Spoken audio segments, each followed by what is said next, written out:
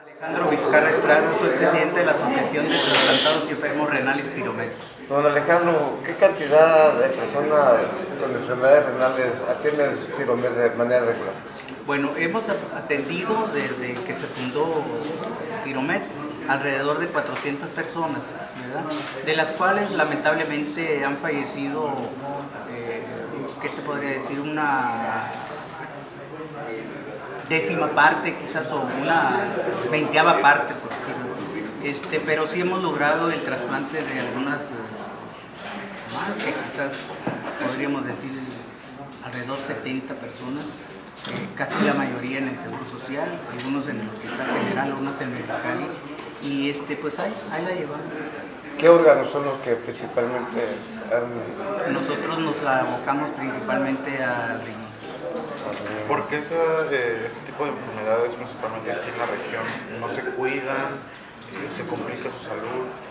Bueno, este, por lo que se sabe, lo que hemos leído, lo que nos han platicado médicos y la experiencia que hemos tenido con los enfermos, este, se debe principalmente a la diabetes. La diabetes provoca enfermedad renal. Eh, como lo comentaba aquí en la plática, eh, México tiene el primer lugar a nivel mundial de niños obesos. La obesidad provoca muchas veces eh, la diabetes y la diabetes eh, pues a veces genera la insuficiencia renal crónica terminal, que es cuando ya los riñones dejan de funcionar y hay necesidad de trasplante. Oiga, ¿y todas son personas adultas o también atienden a niños con ese tipo de padecimientos? Adultos, jóvenes, niños, personas de la tercera edad y mujeres también. Este, usted dice que ha, ha, sido muy importante el apoyo del doctor Asisarán. Así es, afortunadamente, quizás por ser médico, ¿verdad? Él, él este, entiende esta, de esta enfermedad.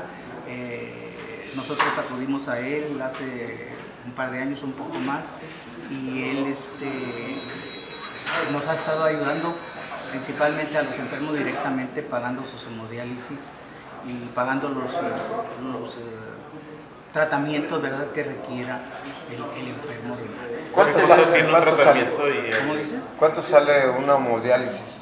El hemodiálisis eh, cuesta alrededor de 700 a 1200 pesos por sesión, son tres veces a la semana y pues si te pones a sacar cuentas entre lo que cuesta la hemodiálisis y los medicamentos que debes de tomar para, para seguir sobreviviendo, pues si la persona enferma de insuficiencia renal debe de tener alrededor de 16 mil a 20 mil pesos al mes para puros tratamientos. ¿Y a cuántas personas ha apoyado el alcalde? El alcalde eh, tengo yo este, una relación alrededor de 80 personas que a últimas fechas he estado apoyándolos, ¿verdad? Pero nosotros le hemos mandado más de 300, eh, casi 400. Pero déjame decirte esto, no tengo un dato exacto porque hay muchas personas que ya son apoyadas, eh, ya no sé si los apoyaron o no, otras personas que han, que han sido apoyadas y salen fuera de la ciudad y tampoco no tengo el pues este, la información, pero sí yo te puedo asegurar que más de 80 personas en este año han apoyado a ¿Cuántas personas se calcula que tengan eh, diabetes aquí en, en, Tijuana o en Baja California que podrían llegar a esta situación si no se puede?